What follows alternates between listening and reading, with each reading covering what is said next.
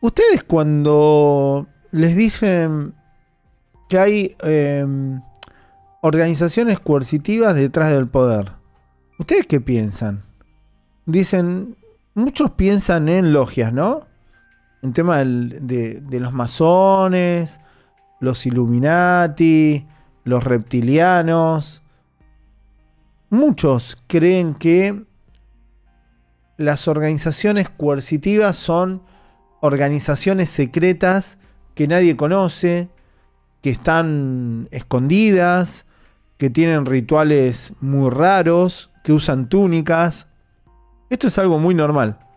Esto es muy, muy habitual. Ahora, ¿es así o no es así? Muchas veces muchos creen en esto, en estas teorías que también son como en parte conspiranoicas, ¿no? De redes eh, de organizaciones coercitivas, sectas que ofrendan niños, eh, que hacen rituales espantosos para ascender al poder, ¿no? Y yo debo decirles que esto es falso. Esto es falso. ¿Saben dónde está, dónde está la principal falacia de todas estas teorías conspiranoicas? Lo más importante, que justamente las organizaciones coercitivas no se esconden, chicos. No se esconden. Están a plena luz del día. A plena luz del día. Y muy cerca de la gente. Muy cerca de la gente. Si bien ustedes saben que eh, las organizaciones coercitivas usan distintos tipos de camuflaje, porque muchos incluso tienden a pensar, a raíz de esta falsa información que se viene difundiendo desde hace décadas sobre la problemática, muchos piensan que las organizaciones coercitivas son solo de índole religioso. Y esto es falso también. Totalmente falso. Totalmente falso. Los camuflajes que utilizan son de variada índole. Predominan algunos más que otros. Predominan algunos más que otros. Pero la base de todas es que utilizan las mismas técnicas para captar y someter a sus víctimas las llamadas técnicas de persuasión coercitiva. Son técnicas que están destinadas a captar víctimas que se encuentran en situación de vulnerabilidad para someterlas. Algunas aplican más o menos técnicas de persuasión coercitiva.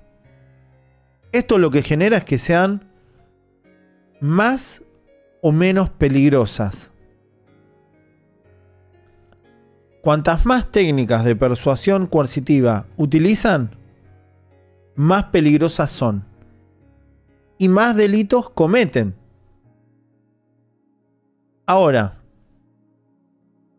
muchas, muchas utilizan marcos jurídicos diferentes para infiltrarse dentro de las estructuras de poder.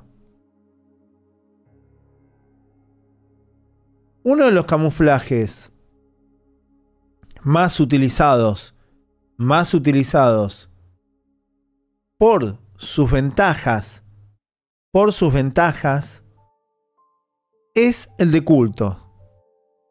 ¿Por qué? Porque si vos te inscribís como culto, primero que te dan mucha libertad para, para todo, te dan beneficios fiscales, te dan la posibilidad de tener negocios. Esto a medida que fueron pasando los años, fueron avanzando tanto en las organizaciones coercitivas que de la noche a la mañana fueron autorizadas para tener grandes negocios. Hoy en día, tenemos organizaciones coercitivas que son dueñas de empresas, de desarrollos productivos, cerealeras, empresas productoras de, eh, productoras de alimento, colegios, universidades, cementerios,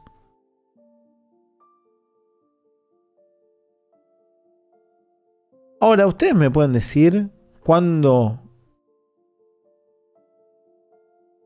la supuesta religión, porque estamos hablando de cultos, religiones, ¿no? Porque se camuflan como tal. Todos los que se inscriben como cultos tienen estos beneficios, sean religiones o sean organizaciones coercitivas. Por lo general, las que tienen todos estos negociados son organizaciones coercitivas, porque se mueven y se rigen a través de lo económico también.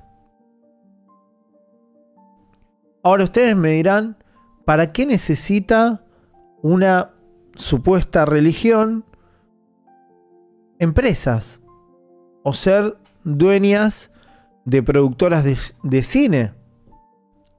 Como sucede con muchas productoras que están atacando a otras que no tienen nada que ver con las doctrinas que impulsan.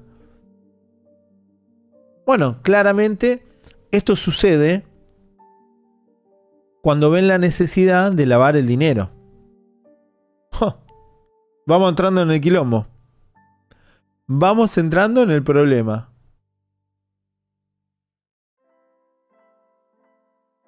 Las organizaciones coercitivas son la fuente principal de la trata de personas, pero no de la trata de personas que conoce todo el mundo. De una trata de personas que nosotros venimos denunciando, que es la fuente de trata desde hace 4 o 5 años, que nos costó mucho que la justicia y los organismos vean lo que nosotros le estábamos diciendo,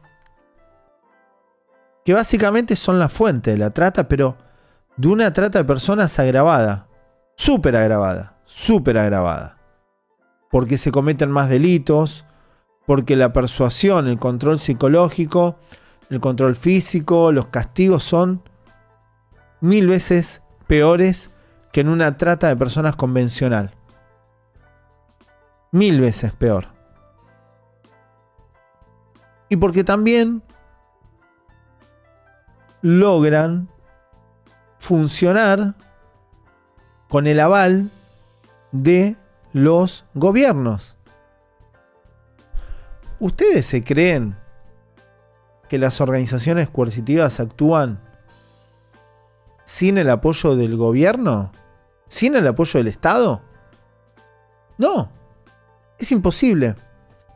Muchas veces cuando desbaratamos a una organización coercitiva, lo primero que se pregunta la sociedad y los medios de comunicación es cómo ¿Cómo es posible que una organización de estas características haya durado y se haya perpetuado en su accionar delictivo durante 30, 40, 50 años? ¿Por qué lo hacen?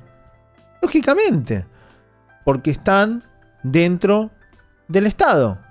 No solo están dentro del Estado, logran la impunidad del Estado. Por eso, cuando ustedes ven que les dicen, desbaratamos una organización que funcionó durante 30 años. Si le dicen que funcionó durante 30 años y nadie hizo nada, es porque estaban, estaban en complicidad con las autoridades.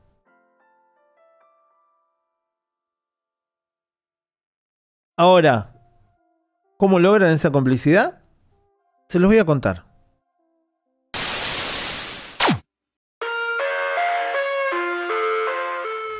Dejen su like, suscríbanse y compartan el video.